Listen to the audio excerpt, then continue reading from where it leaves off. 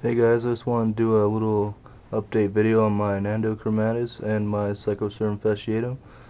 I put my chromatus in a little bigger enclosure, just the same size as my B. emilia and my Acanthoscurria brocklehursti. Just give it a little bit more space. Probably after it molts again, depending on how, how big it gets, I might move it again, but eh, it's just got pretty basic, just got log for decoration and then a water dish. Don't have water in there yet. I'm gonna wait till I put it back on the shelf so I don't spill it everywhere.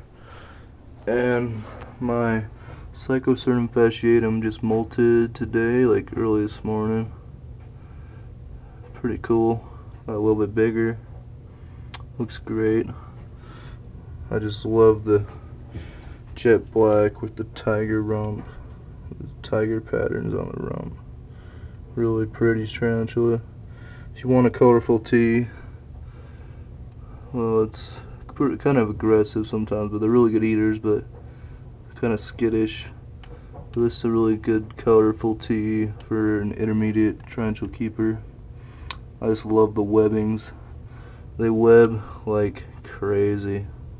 Not as much as the GBB, Chromatopelma pubescens, green bottle blue, but they do web quite a bit though. Really pretty. And molt is right there. Well guys, just wanted to give you that little update.